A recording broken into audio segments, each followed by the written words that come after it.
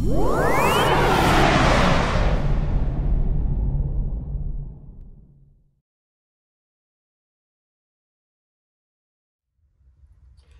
Steer Genius is proud to introduce our full line of Wolverine uh, harnesses that'll enable you to get your Wolverine cement mixer or other single solenoid product up and running. That could include in the future probably dozer blades um, or anything else that uses a single solenoid. So this one uh, generally is off the cement mixer. What you're gonna see is this little DIN connector. Usually they don't even put wires in this, so you just have this sticking on the side of the solenoid. There's a little screw inside here, you just wanna take that off and open it up. Um, and you'll see how all the connections are made.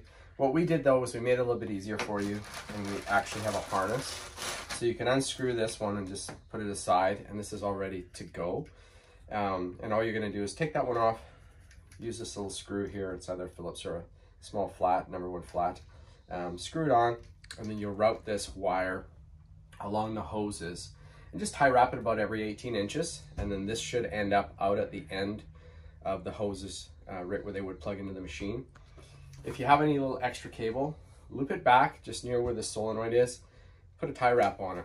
That way, if you do accidentally leave it connected and drive away from the machine, it'll pull, it'll snap off some of the tie wraps, but it should save your wiring.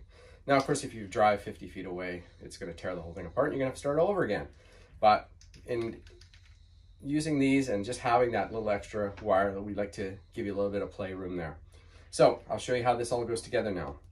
We've got two types of kits that are meant to plug in directly into the machines. We've got an 8 pin and we've got a 14 pin. So this one's the 14 pin.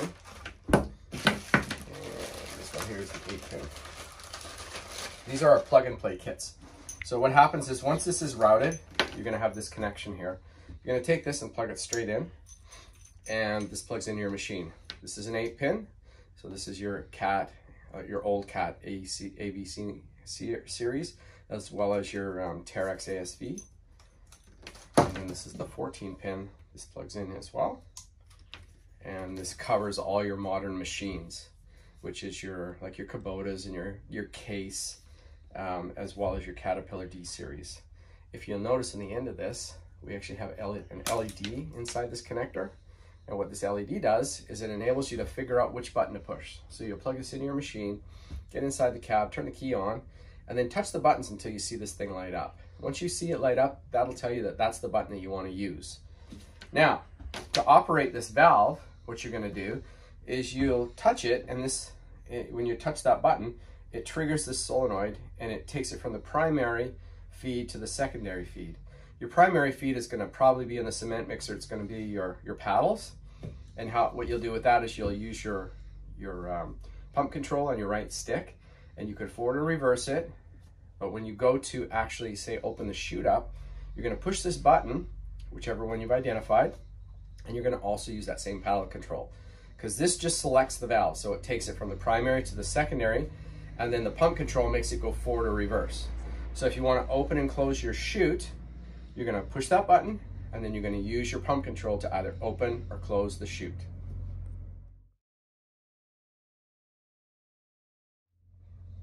So one of the cool things we've done with the 14 pin is we've actually pinned two positions. So for most machines, it's on the left stick. So you'll be able to select one or two, one or two buttons on there to make this actuate. But also what we did was inside here, John Deere uses a different ground. And the reason they do that is to make you think that, oh, none of my attachments are gonna work. What I generally tell people, if you have a new machine, you've never bought attachments before, just inside the John Deere machine, move the ground from A to B and then that'll make it universal with everybody's attachments. However, if you haven't done that, you've got a bunch of attachments, you don't want to go through that effort, what you can do is open up the back of this connector. You're going to see a little jumper in here. We've already put it to ground. All you have to do is take this piece of shrink tubing off, fold it over with a pair of pliers and push it into A. That's all. Now that'll give you a ground point on A and B, which means it'll work in John Deere or most every other machine. The only time you don't want to do this is if it's in a Cat D series. Cat D series actually uses A as a hot control button. So if you were to do that and you hit one of the buttons, the wrong button, um, it'll put a 12 volt directly to the ground and blow your fuse. So this is only a John Deere recommended fix and enables you to run this universally on John Deere as well as the majority of other machines out there. So once you flipped it over, pushed it through, You put the cover back on again, screw it on, and this is good to go.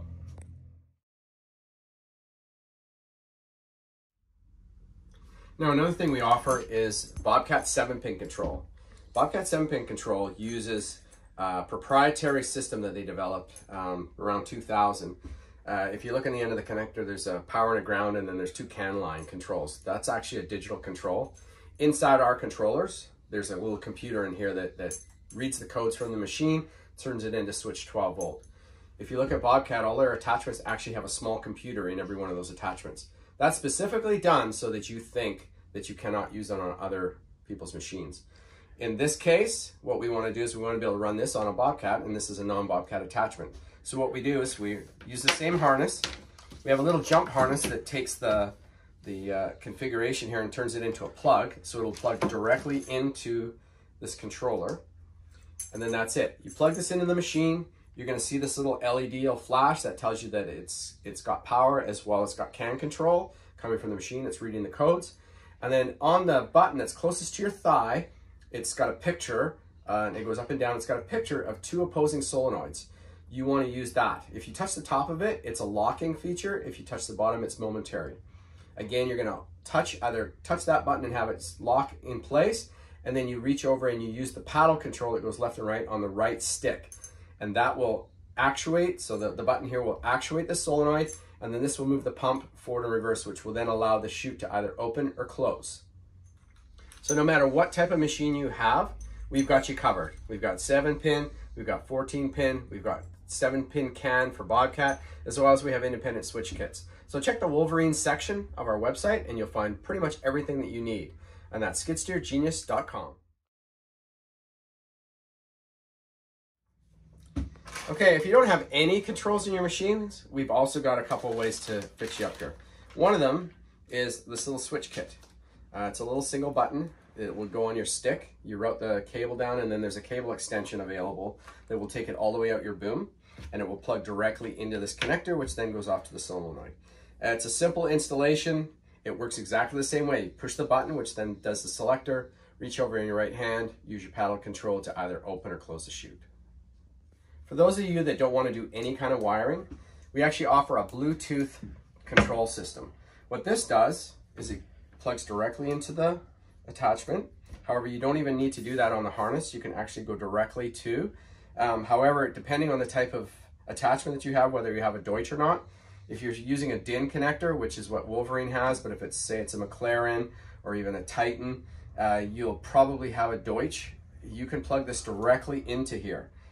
If you have a Wolverine that's using this DIN connector, then what you're gonna have to do is just roll this harness back up inside the attachment and then you can install this anywhere. It uses magnets, it plugs in, and then you can plug this directly into the, into the connector. And then this little battery box plugs in as well. We have a little harness here. The harness plugs into the box, like so. Plug directly into this solenoid control here. And then we have our own app. So you can go to the App Store, either Google Play Store or, um, or Apple, and you can download the app and you'll actually be able to control your attachment using your phone.